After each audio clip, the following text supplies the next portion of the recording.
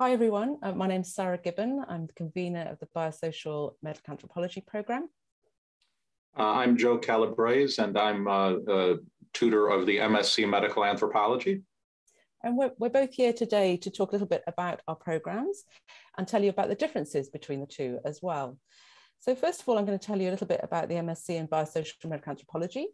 So this program is a unique uh, program of study set up nearly three and a half years ago. It's the first standalone program of its kind in the UK. Um, it combines social and biological training to examine biosocial aspects of health and disease and really responds to a growing need for more cross-disciplinary research, knowledge and skill to address a range of urgent and contemporary global healthcare and public healthcare challenges.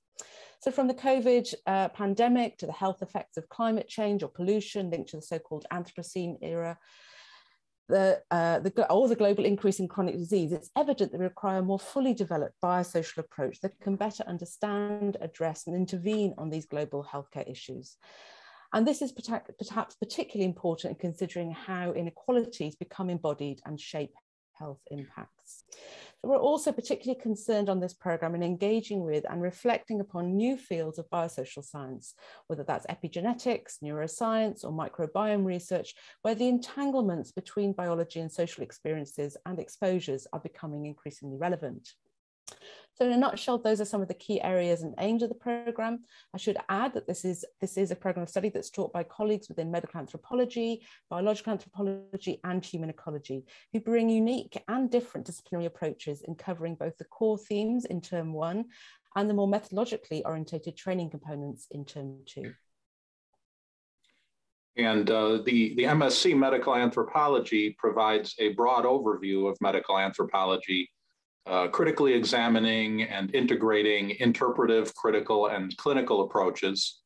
Um, we have a long history of engaging with clinical practice, uh, with several staff members having clinical training and practice experience.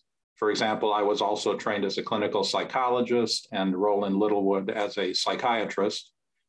And um, we also have a specific strength in the study of psychological anthropology, self experience, mental health, and diverse approaches to therapy from healing rituals to modern hospital based care uh, to mindfulness practices and psychotherapy. Um, I should say we don't expect applicants to have any background in anthropology.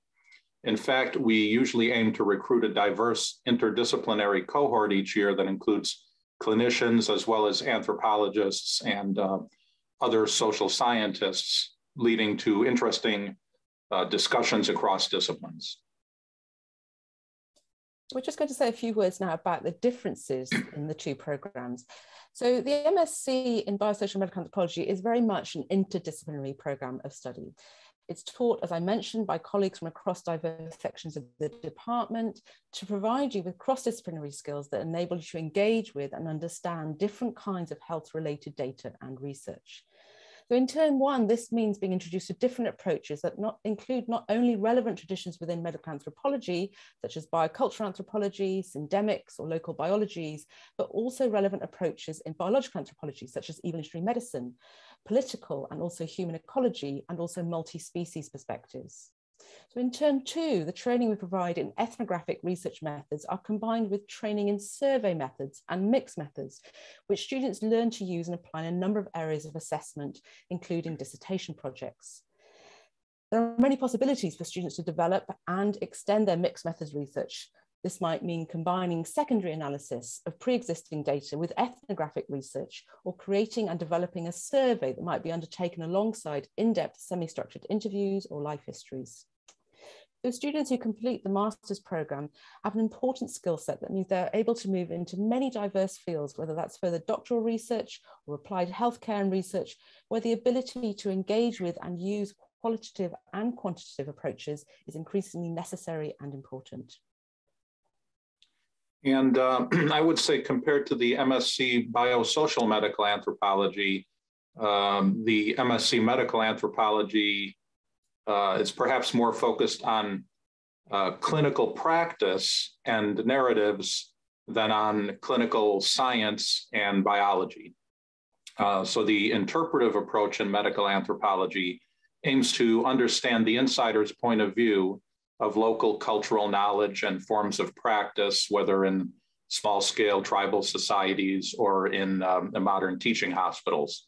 Uh, this encompasses local experiences of illness, cultural explanations of illness, healing narratives, and the connections between local health concepts and broader cultural values and understandings of the person. Uh, we balance this interpretive approach with critical medical anthropology approaches, which focus on political and economic structures and inequalities as they affect health and well being, and with always an appreciation of the clinical realities of the human as a biological and psychological organism. Uh, we blend critical debate on theories with an appreciation of the real world issues arising from applied work. And graduates of our program have gone on to develop exciting careers in academia, clinical services, social services, government, and non governmental organizations.